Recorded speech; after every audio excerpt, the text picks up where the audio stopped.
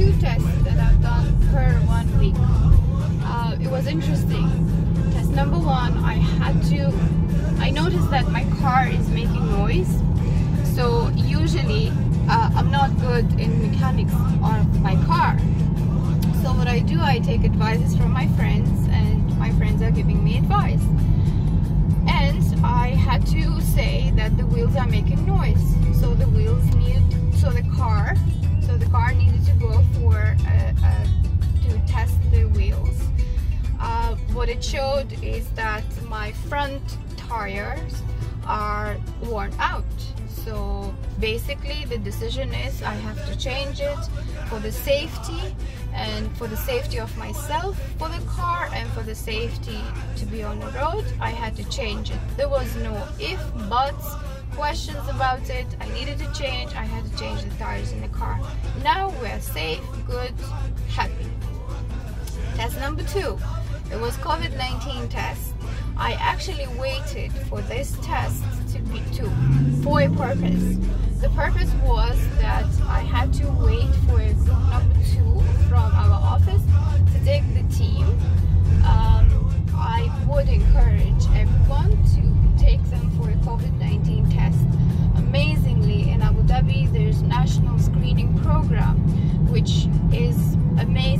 and this test was done in Musafah together with my team, group number two.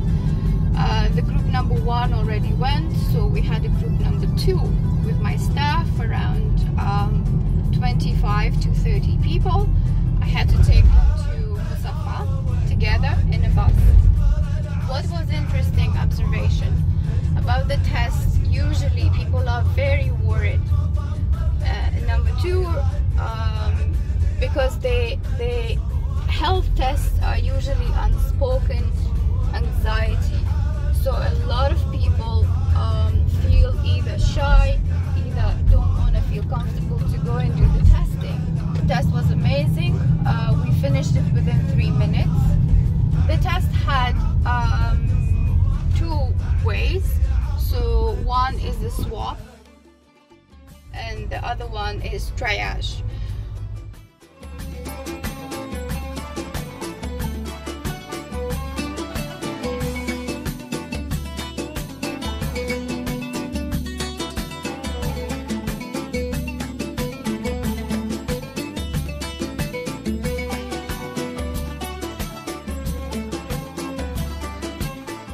Triage.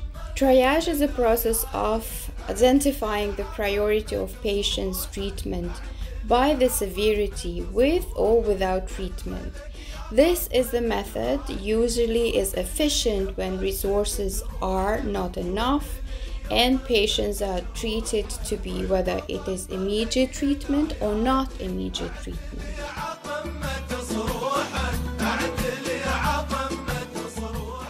Nasal swab test. Nasal swab test is a sample taken from the nose to detect viral air and R. This determines if you currently have COVID 19 or not.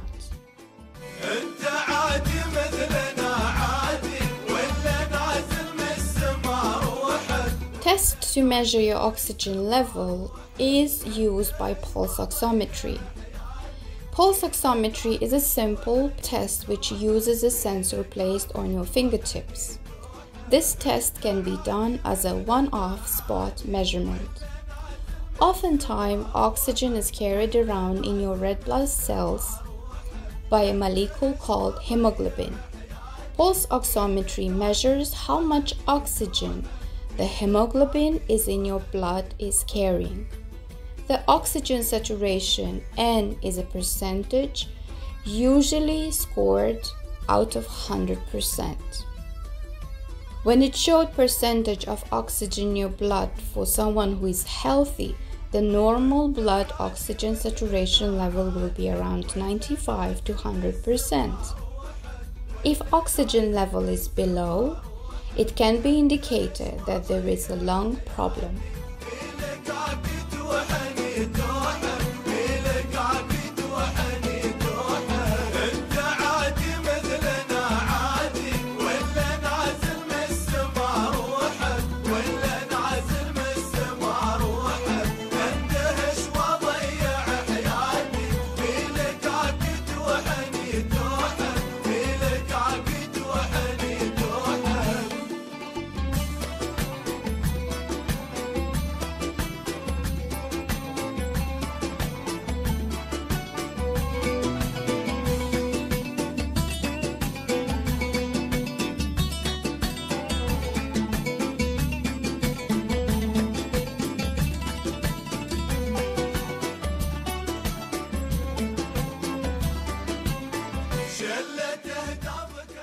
In summary, to look at the big picture, the National Screening Project in Abu Dhabi is an excellent initiative.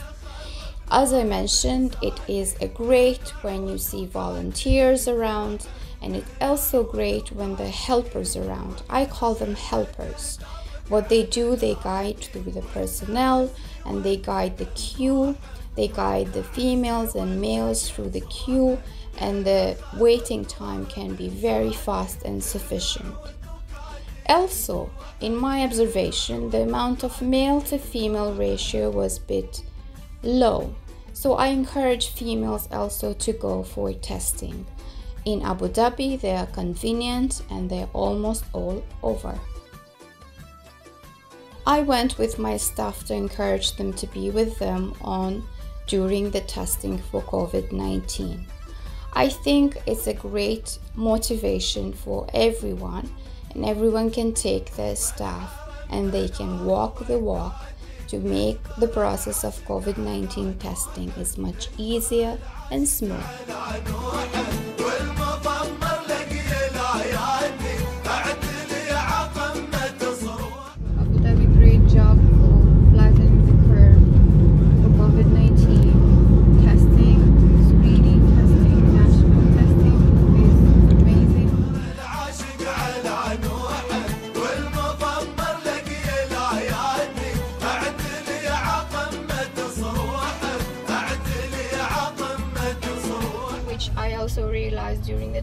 The testing that stuff that they were more relaxed seeing me with them encouraging them that it's okay to go through the testing.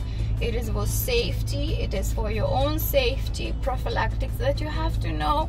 And number two is for safety of others. It is similar like to the car. You know you have to change the tires because it's first for your safety and second for the safety of all others on the road Thank you.